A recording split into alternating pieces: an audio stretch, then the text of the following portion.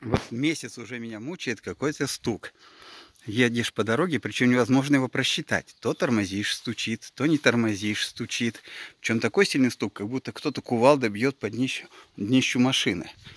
Вот пол машины разобрал. Пол машины разобрал, нашел, ей-богу, пол машины. Нашел два дефекта. Изношенные саленблоки на реактивных тягах.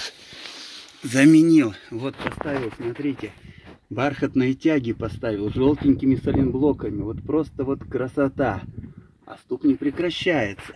Нашел люфты в рулевом. Надо менять тяги в рулевом. Но в принципе тоже это не стучит.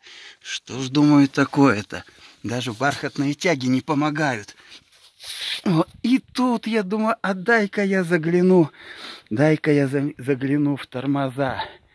Вот, скидываю тормозной, как он называется, не диск, а колпак, уже забыл, как занимаюсь, сто лет не разбирал. Скидываю, и что я вижу? Я вижу, что на новых колодках оторвана тормозная поверхность. Просто красота. И вот эта вот штука мне попадала, видимо, под целую колодку и клинила, и, соответственно, получался удар.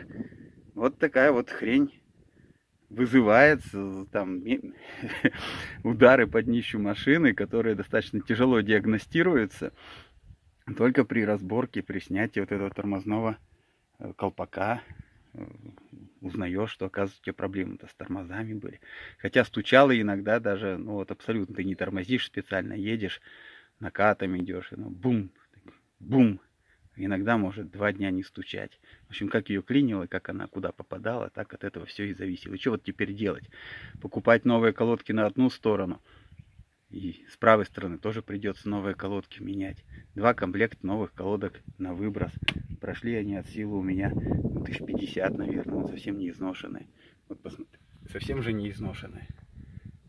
Колодки просто красота. Навье.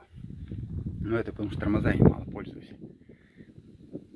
Так вот буду менять, наверное, тоже видео засниму. Все, спасибо, до встречи. Подписывайтесь на мой канал, не забывайте, ставьте лайки, оставляйте комментарии. Все как всегда.